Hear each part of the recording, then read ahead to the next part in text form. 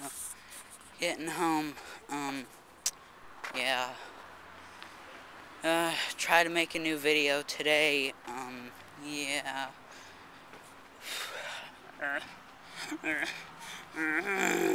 um, dance tonight, I think, yeah.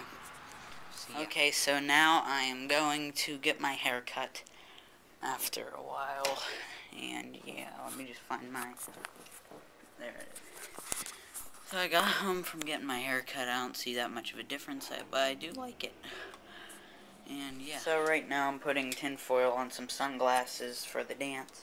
Because at the dance it's supposed to be futuristic and stuff. And so when I got them done, um, I'm aware that I look kind of silly with them. But, you know, I like them. So now I'm going to try and cover up my flip camera in foil also. Because I think it'll look cool or whatever you want to, you know, one of your hipster words or whatever you guys say anymore It's so old, you know. So I'm gonna wrap it up a bit. It looks kind of stupid, so I think I'm gonna take it off. Maybe I could put it in there, like, you know, like, uh, like as, like, just to protect it, you know. Walking home from the dance, uh, a lot of fun. Uh, yeah.